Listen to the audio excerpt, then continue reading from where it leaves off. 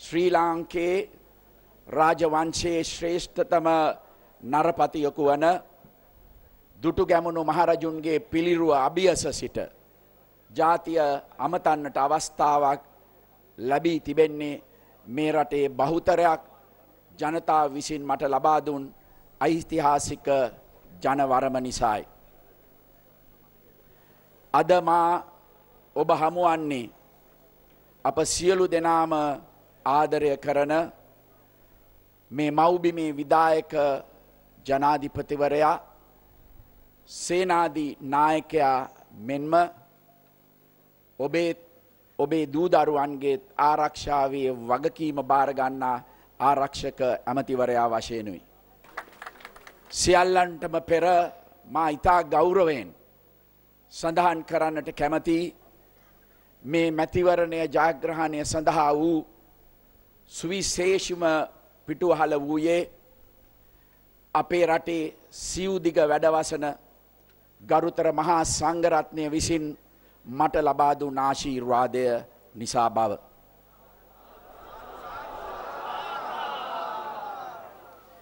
මේ ජයග්‍රහණයේ ප්‍රධානතම සාධකය වන්නේ මේ රටේ බහුතර සිංහල ජනතාව බව අප මුල සිටම දැන සිටියා.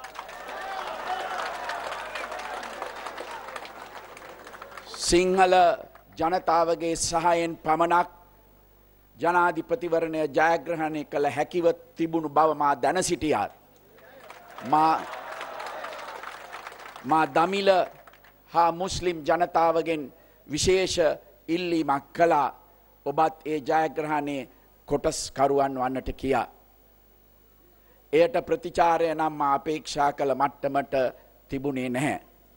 එහෙත් මා ඔබේ නව ජනාධිපතියවරයා වශයෙන් යළිත් ඉල්ලා සිටින්නේ මේ රට අනාගත අභිවෘද්ධය වෙනුවෙන් සැබෑ ශ්‍රී ලාංකිකයන් ලෙස එකට මා සමග එක්වන ලෙසයි. මා වෙනුවෙන් චන්දය භාවිතා කළ සියලුම චන්දදායකයන්ට මම මේ අවස්ථාවේ මගේ ස්තුතිය හා ගෞරවය පුද කරනවා.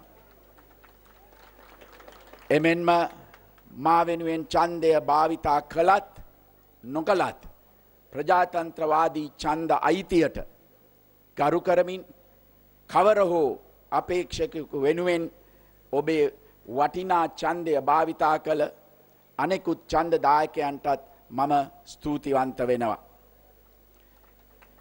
දකුණේ සිංහල බෞද්ධ පවුලකින් පැවතෙන එන මම අධ්‍යාපනය ලැබුවේත් ලංකාවේ ප්‍රධාන පෙළේ බෞද්ධ පාසලක් වන කොළඹ ආනන්ද මහාවිද්‍යාලයේ. ඒ නිසා බෞද්ධ දර්ශනය හැමවිටම මගේ සිතුවිලි වලට හා ගති පැවතුම් වලට එක්වී තිබෙනවා. බෞද්ධ දර්ශනය තුළ ඉනිවන්නේ නීතිය යුක්තිය හා සාධරන්ත්වය සහතික වන ධර්මානුකූල රාජ්‍යයක්. සියලුම ජාතිකයන්ට සියලුම ආගමිකයන්ට ශේම භූමියක් වූ පාලන තන්ත්‍රයක්. මගේ දූර කාලය තුළ මේ රටේ බෞද්ධ දර්ශනය ආරක්ෂා කොට පෝෂණය කිරීමට මම ඇප කැපවී සිටිනවා.